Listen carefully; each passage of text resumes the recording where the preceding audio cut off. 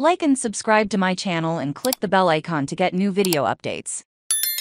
Dolphins sign Tyler Kroft, a former Downingtown East star, to tight end Chester County's Tyler Kroft, landed on a new NFL team when his agent announced Tuesday that the tight end had agreed to a one-year contract with the Miami Dolphins. Kroft, a Downingtown East graduate, played with the last season San Francisco 49ers allowing him four receptions for 57 yards in 11 games. Kroft was selected by the Rutgers in the third round of Cincinnati in 2015 and played four seasons with the Bengals. Before signing with Buffalo in 2019, the 30-year-old played the 2021 season with the New York Jets before joining San Francisco last spring. His best season was in 2017, when he had 42 passes for 404 yards, and 7 points. Kroft was a three-star recruit out of high school and was drafted by selected by the Inquirer for all southeastern Pennsylvania. Kroft played wide receiver and tight end in college. As a senior, he caught 40 passes for 669 yards and 8 touchdowns for the Cougars. Read more. Downingtown's Tyler Kroft will be thinking of his friend when he returns to the NFC Championship game with the 49ers.